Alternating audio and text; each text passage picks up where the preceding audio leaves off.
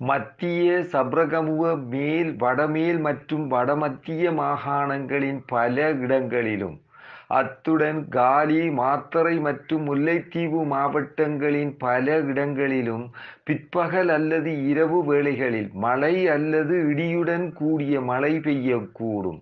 நாட்டின் ஏனைய பிரதேசங்களில் சீரான வானிலை காணப்படும். பலத்த காற்று மின்னல் தாக்கங்களும் ஏற்படக்கூடிய சந்தர்ப்பங்களில் பொதுமக்கள் அவதானத்துடன் செயற்படுமாறு கேட்டுக்கொள்ளப்படுகின்றனர் வடக்கு கிழக்கு மற்றும் வடமத்திய மாகாணங்களின் சில இடங்களிலும் அத்துடன் மொனராகலை மற்றும் குர்நாகல் மாவட்டங்களிலும் அதிகரித்த வெப்பநிலை காணப்படும்.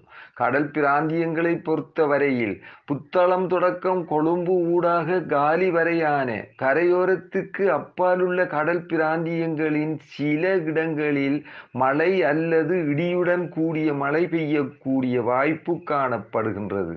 கடல் பிராந்தியங்களில் மணித்தியாலத்துக்கு இருபது முதல் முப்பது கிலோமீட்டர் வேகத்தில் காற்று வீசும்.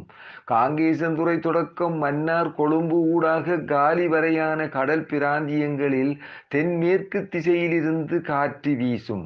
நாட்டை சூழவுள்ள ஏனைய கடல் பிராந்தியங்களில் தென்கிழக்கு திசையிலிருந்து அல்லது மாறுபட்ட திசைகளில் இருந்து காற்று வீசும்.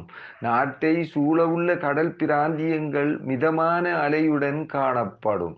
ஆனால் இடியுடன் கூடிய மழை பெய்கின்ற சந்தர்ப்பங்களில் பலத்த காற்று வீசுவதுடன் அவ்வேளைகளில் கடல் பிராந்தியங்கள் தற்காலிகமாக மிகவும் கொந்தளிப்பான நிலையில் காணப்படும்.